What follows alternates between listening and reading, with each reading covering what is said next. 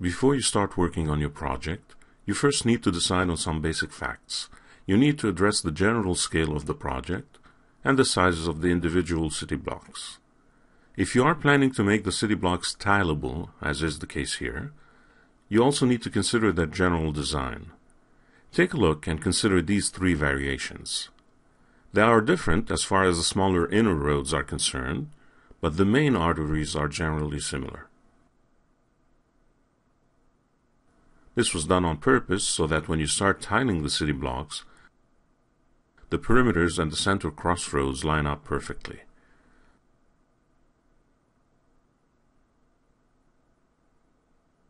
Also, the symmetrical nature of the perimeters and central axes work equally well if the city blocks are rotated in increments of 90 degrees. In fact, this would create even more variation, as the inner roads and the building lots would look even more random this way. Of course, you still need to learn to build these city blocks, and you'll be starting from scratch. Each one of these city block squares are 300 by 300 meters, and you will use these dimensions in your project. Open or reset 3ds Max to start a new project. Typically, the first thing you'd want to do is set up your scene units under Customize Units Setup. For this project, set your system unit setup to feet instead of the default inches. There are a couple of reasons for that. First, this is a large-scale scene that will span to hundreds or even thousands of feet. You probably won't need accuracy down to an inch. More importantly, we may be using the scene at a later time for some Autodesk Revit interoperability. Interoperability between Revit and 3ds Max works best when 3ds Max system units are set in feet. This will be discussed more in detail in due time, but for now, choose feet as a systems unit. For the display units, you can set them to metric or imperial to suit your needs. Personally, I like to use meters for architectural projects. Click OK to accept the changes and exit the dialog. While you're at it, you may want to make a few additional changes before moving on.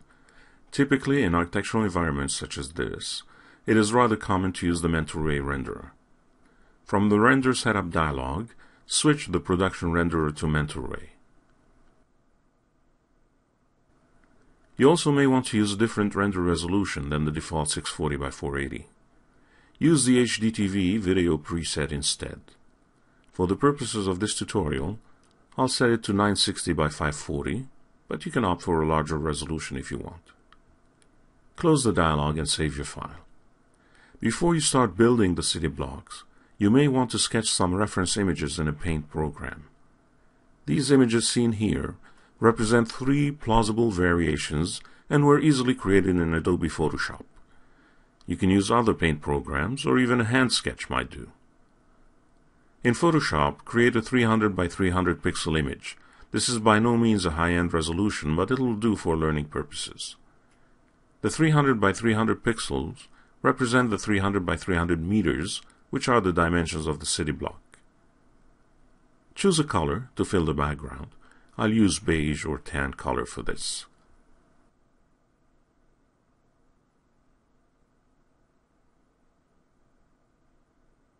Set guidelines at the center of the image by dragging the horizontal and vertical rulers.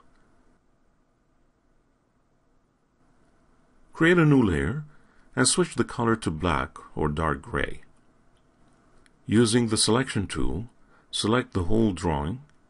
You are about to draw the perimeter roads. The perimeter roads are three lane wide on each traffic side. A lane is typically about three and a half meters wide, or about 12 feet. Three lanes are therefore about 10.5 meters wide, represented by 10.5 pixels. Since you can't really draw half a pixel, you round it up to 11 pixels. From the Edit menu, choose Stroke. Specify a width of 11 pixels and a location to the inside of the selection, and then click OK. Click outside the image to cancel the selection. Next, you'll work the center axis roads. Create a new layer between the perimeter and the background. Change the main color to a medium to dark blue. Select the brush tool and change the palette to square brushes. The central roads are two lane wide in each direction, so that's four lanes in total. A total of four lanes translate in a 14 meter wide artery. That's 3.5 meters times 4. Set the brush to 14 pixels and then choose the Pen tool. Click a point to the left of the image on the horizontal guideline. Hold Shift to draw a straight line and click a point to the right of the image. Next, right-click inside the image and choose Stroke Path.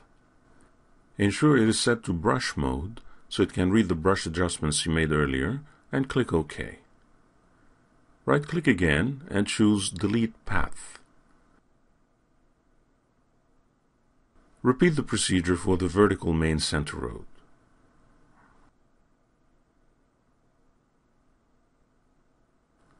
Once it's done, you can create yet another layer for the inner, smaller roads.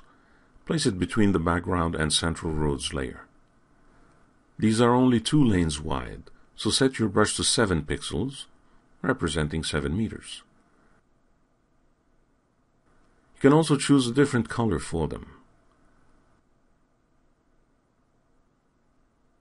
With that in place, use the pen tool to create the inner roads.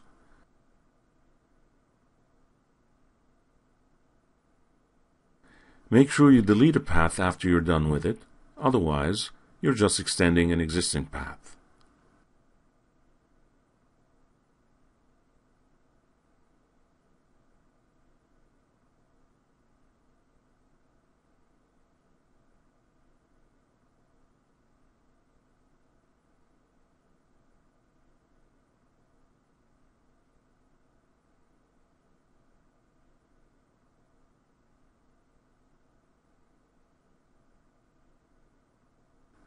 When you're done with one layout, hide the layer, create a new one, and build a new, different layout.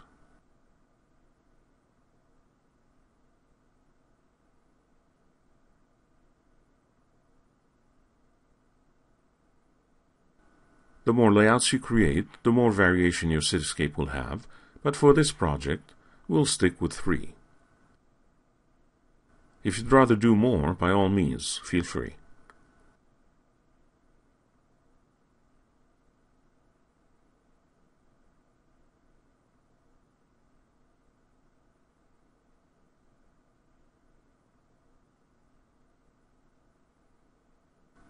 Once you've saved these out as separate files, you are ready to use them as reference in 3ds Max.